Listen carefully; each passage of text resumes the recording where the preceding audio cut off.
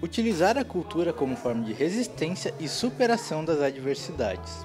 Esse é o objetivo do programa UFSM Solidário Cidadã, que promove atividades culturais com alunos afetados pela crise climática ocorrida no Rio Grande do Sul. O projeto é realizado pela Divisão de Museus, vinculado à Pró-Reitoria de Extensão. Conseguimos uma pró-reitoria, é, com a Pró-Reitoria de Extensão em parceria com a Proinfra, a oportunidade de conseguirmos buscar com o ônibus da universidade esses visitantes na própria escola e trazê-los para cá como forma de, de evitar, reduzir custos que essas escolas eventualmente teriam. As visitas aos espaços culturais da universidade iniciaram na última quarta-feira, com os alunos do primeiro ano da Escola Nossa Senhora do Perpétuo Socorro. A escola atende alunos de bairros como Chácara das Flores, Vila Canário e Morro do Seychelles, regiões que foram afetadas pelas enchentes. Nós tivemos alguns alunos afetados, a grande maioria não diretamente, mas tivemos alguns que também tiveram que sair de suas casas, perderam tudo. Foram, não foram muitos, mas alguns casos mais, mais isolados. O Museu Gama Dessa foi o primeiro espaço cultural da universidade a receber alunos de comunidades afetadas pela enchente. O objetivo do projeto de extensão UFSM Solidária Cidadã é buscar esses alunos em suas escolas para proporcionar momentos de educação, cultura e entretenimento. Quando a gente fez a, a fala na escola, né, que iríamos visitar o museu, muitos comentaram, ah, nunca fui no museu, muitos falaram, né, que, iam, que no museu tinha a ideia de ter só dinossauros e não tinha ideia de tudo que eles iam ver aqui hoje. É um direito de aprendizagem, né? Tu ter esses espaços culturais e principalmente depois desses momentos. Em qualquer momento é importante a gente proporcionar essas visitas, esses espaços de conhecer museu, a história, a história de Santa Maria, do Rio Grande do Sul. Então é muito, está sendo muito uma aventura para eles, muito importante.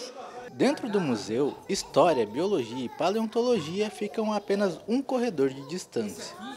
Transmitir esses conhecimentos de forma compreensível e atrativa para os mais de 30 visitantes com idade de 6 a 8 anos pode ser uma tarefa tão gratificante quanto desafiadora.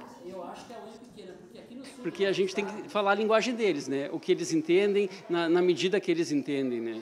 Então a, é, a gente adapta o museu, ele é muito versátil, a gente consegue adaptar o que tem aqui para as mais diversas faixas etárias, digamos assim. O Laboratório de Arqueologia, Sociedades e Cultura das Américas, também conhecido como LASCA, realiza parte do seu projeto de extensão dentro do museu.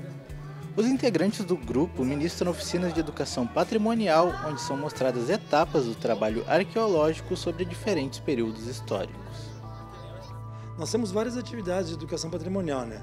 A oficina de arco e flecha é uma delas para tratar sobre os povos caçadores-coletores que habitavam essa região aqui há mais de 10 mil anos atrás. Então isso é uma oficina que conta como viviam esses povos caçadores coletores que moravam aqui. Depois nós temos outras atividades, como escavação arqueológica simulada, onde as pessoas que participam, de qualquer idade, podem participar de uma escavação onde nós temos réplicas de materiais arqueológicos e as pessoas podem entender um pouco mais o trabalho de arqueologia.